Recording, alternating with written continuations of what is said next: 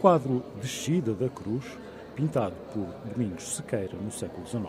e cuja avaliação já ultrapassou um milhão de euros, está de volta a Portugal após aquisição pela Fundação Livraria Lelo,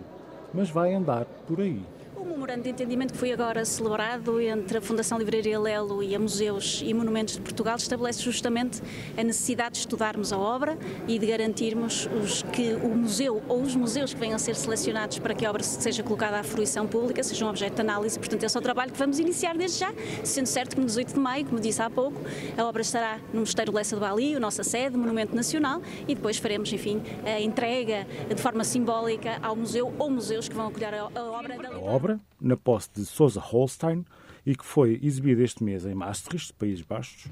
foi comprada há 10 dias pela Lelo, que não revelou o preço, tendo sido hoje assinado um memorando de entendimento com a empresa estatal Museus e Monumentos de Portugal no Palácio da Ajuda, em Lisboa. O essencial é, de facto, esta obra poder estar eh, disponível para a fruição eh, pública no Museu eh, Nacional. É isso que acontecerá a partir do dia 18 de maio. Todos os quadros de todos os museus, de todos os museus no mundo, têm como princípio essa rotatividade, no sentido em que podem estar expostos em exposições, como aliás a engenheira Rita Marques deu nota, também a ambição de que esta peça possa estar exposta em coleções internacionais. Portanto, os empréstimos fazem parte